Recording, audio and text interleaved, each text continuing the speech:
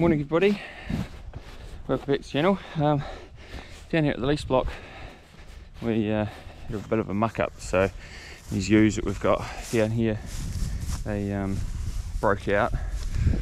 Well the unit wasn't working, I kind of knew it wasn't working that well and then yeah they ended up breaking out and uh, yeah getting into all sorts of trouble so just fixing up some fences at the moment.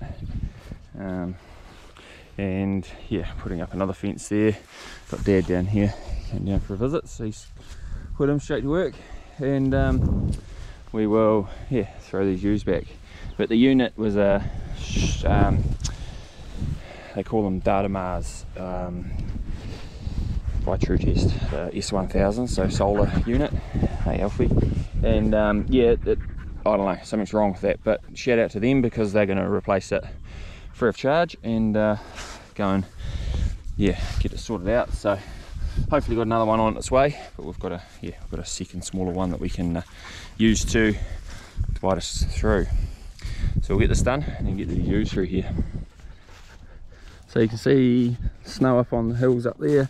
So that's the um, that's the home farm that's the grange up there. So snow down to about 700 meters and mount oxford over here in the in the corner so not too bad, as long as it stays up there and away from us, it'll be good. So we'll wind this up, just weave it, let them through section. Got the heading dogs with me.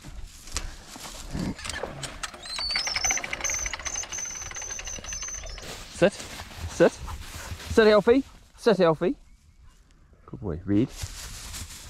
That's not red that's blue. Anyhow.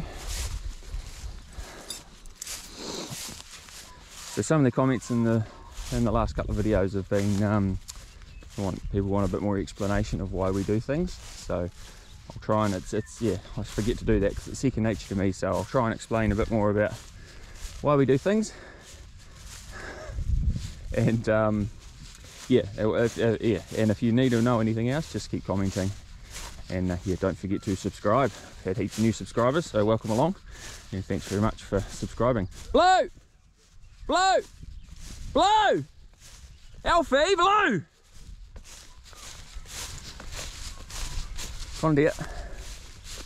Where you go? Good boy. Good boy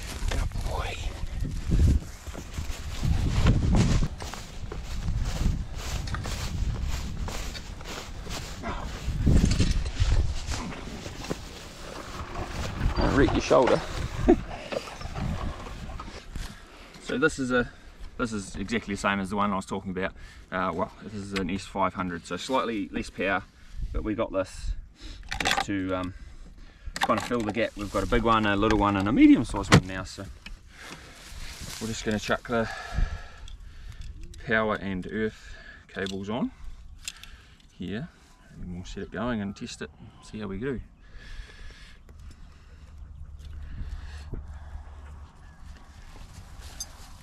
So they just connect onto nuts at the back here.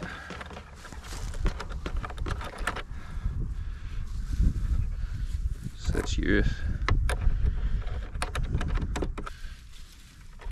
And your power. So then what we do is just put the power onto a good wire, one of the better wires on the fence, if you've got the best wire on the reel. Put the earth down onto the stand of the standard, so that's earth through that and then yeah once again our hot post for from Strainrite. So it's just tying all those wires together. No uh, whole bunch of no bunch of alligator clips to tie them together. Alfie go and get up. Go and get up. So we'll turn it on. Give it a test. It's, uh, it's all right. Yes yeah you can just tap that back screen. Get out! Get out! You'll get a shock. You fool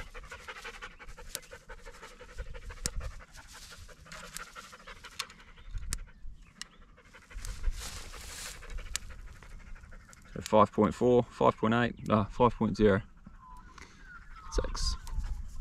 So that'll be enough. That'll keep the gills in hopefully. And then, yeah, lots of sunshine, so the, the solar unit should charge. And then when we get a chance to take this other one into Rangiora, we'll get that one sorted out. So, so we've just to go over here, shift the kettle. We've got wind a fence down, and uh, it'll us done down here. Then we'll give you an update on the lambing, feed, uh, lamb feeding shed, what we've done there, and kind of what we've learnt so far. So down here, shifting these kettle at the lease block and they've broken out so we'll wind this fence up and um, chuck another one up I think they probably only just broke out they saw us over the road shifting the sheep fence and got a bit keen hey boys Alright, so cattle are fed for another few days. Happy boys?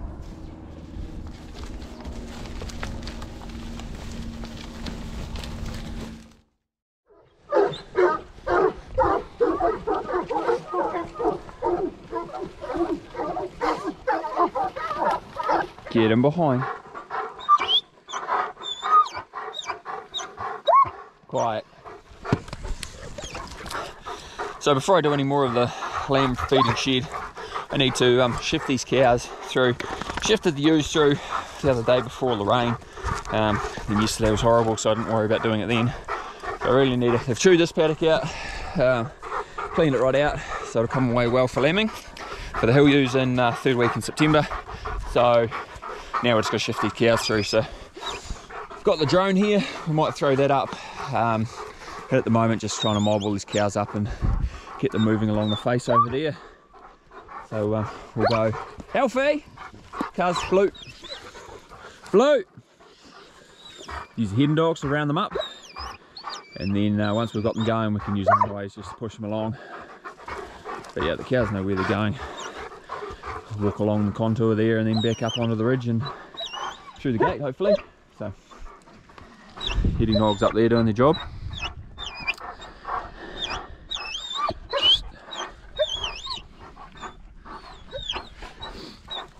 Quite good. It's not, quite nice to have some heading dogs that, can be um, give give cows a bit of a hurry up so they can nip and uh, heel them. That's why I like the border collies because they're quite good at heeling. So um, when they get a bit excited. So get them behind you two. So we'll just follow these along and uh, here I might throw the drone up later. But as you can see, lots of gorse to spray this summer. It's grown a lot in the last 12 months. Bloody stuff. Just quiet, Jasper. You, you're a bit excited, aren't you? Just that'll do. So just while we sit here watch these cows go along the contour just let them take their time. Push them too hard and they all start falling off and uh, hurt themselves. But I just wanted to explain get out. Um, so I've explained in a couple of videos we've had um, reason we have cows on here which is to control the grass to to groom it pretty much for um, for lambing and, and then we also had them to develop, so smash all the scrub down. Um, yeah, and they've done a really, really good job at that. The one big issue of having cows on country like this, especially in a really wet year like this, is the tracking.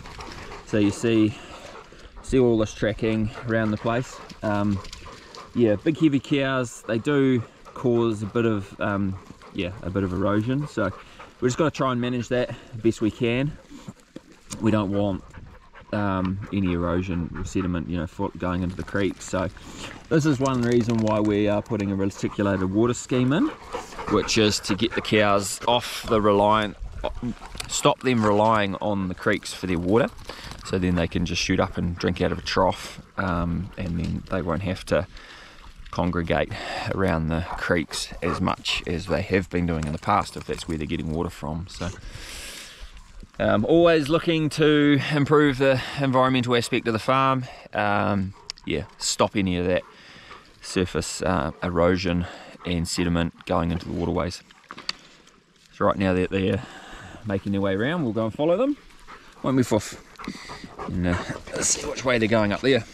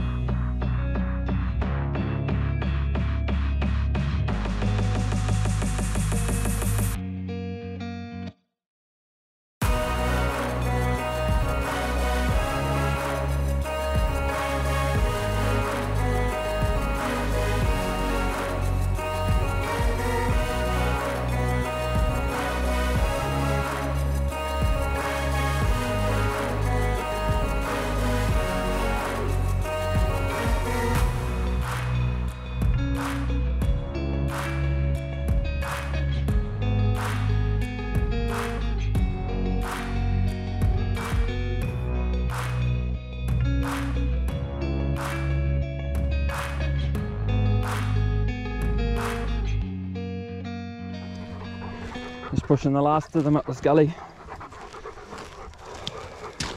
Now we've got them facing the right direction with the drone.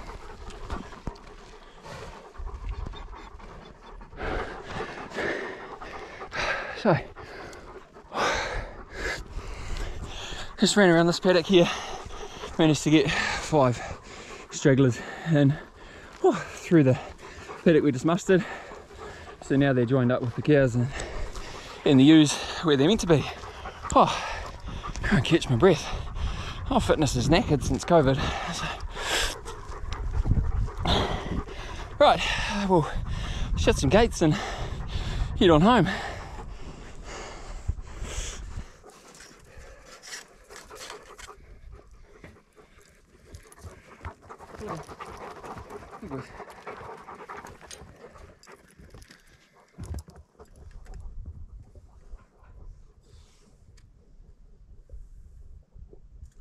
So that bungee gate there, uh, the tape that I just put up is just to stop the cows rubbing on the gates and wrecking them. Um, yeah, make sure they don't get out. You tired dogs? Hey? Jasper's not. Still full of beans, eh Jasper? Yeah. Takes a fair bit to tire him out, doesn't it? Yeah. so I just noticed when I was shutting the gate up here, the bottom of this paddock we just mustered that there's um, a ewe in the scrub up here. So we'll go and investigate, make sure she's not stuck in the blackberry. Um, Try and make our way through this bush somewhere. We'll follow Jasper.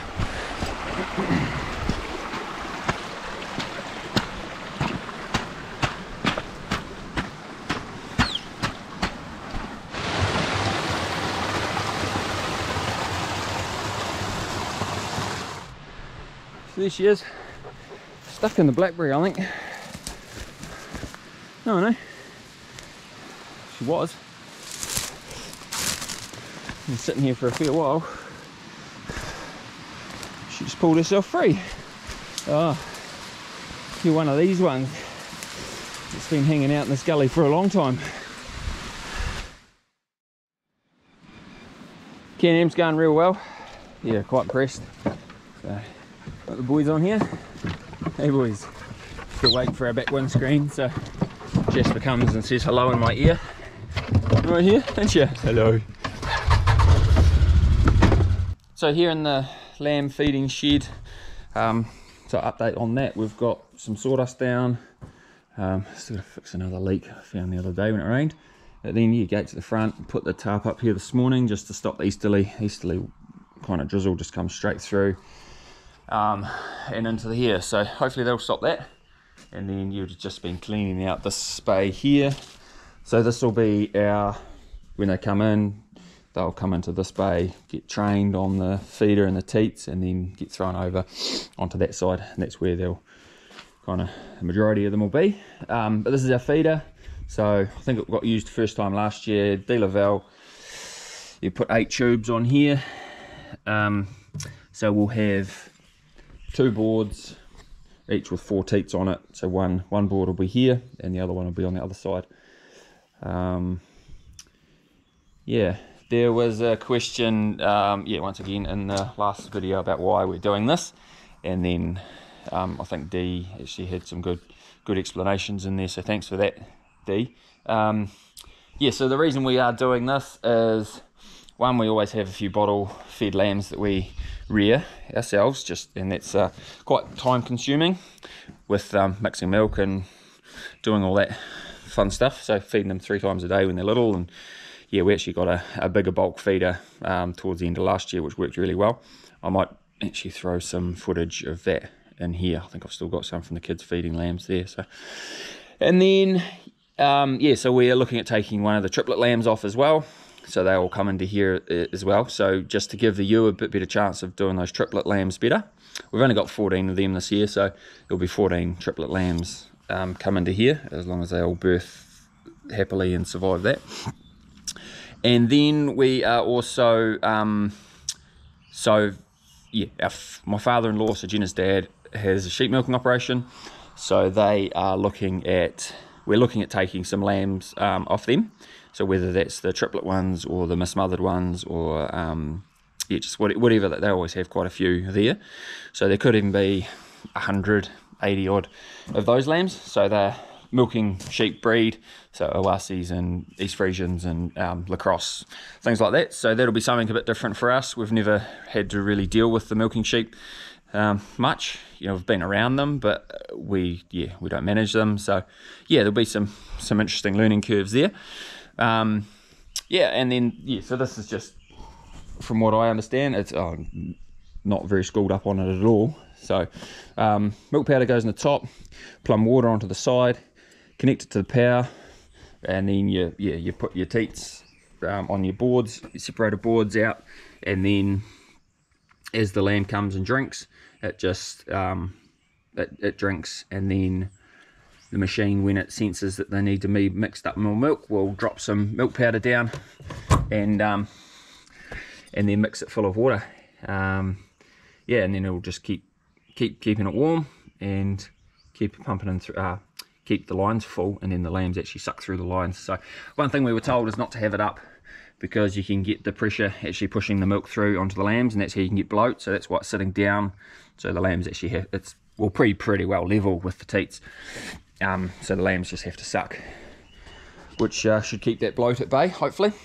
But yeah, a lot of things to work out. So meal, um, Lucerne hay or baleage, um, yeah, of course the milk, but milk powder. So whether we're going um, a whey-based powder or whether we're going whole milk powder. Um, everyone's got their own opinions and what what works for them. So yeah, a lot of lot of things to figure out. Um, and then the bedding as well. So this stuff is a wee bit damp at the moment, but we're hoping in the next 10 days, two weeks, we should get that fairly well dry out and then we're just going to have hay in here um, that we can easily replace and change out. And then if, if worst comes to worst, we'll just chuck some hay um, on top of the sawdust over there too. So just got to go dump this and then shoot away and put a hay, hay bale and a feeder for the calves on the fodder beet.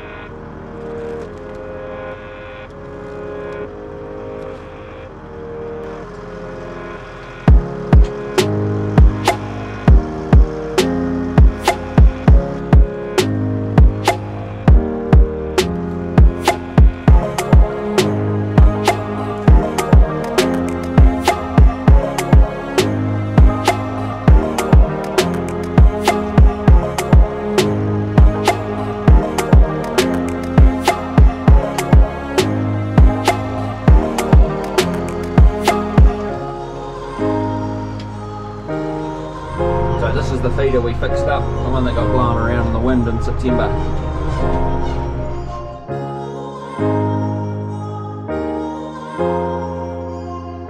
All the animals fed. Uh, just got to feed these critters now, and um, that'll be the end of this video for today. We've got, uh, yeah, next week or so, just setting up some more of that feeder and um, doing our general farm stuff and we're getting pretty close to lambing so we'll be set stocking used out the lease block and uh, and whatnot. So we'll feed these guys and uh, call it a night. So thanks very much for watching. We'll see you in the next one. Bye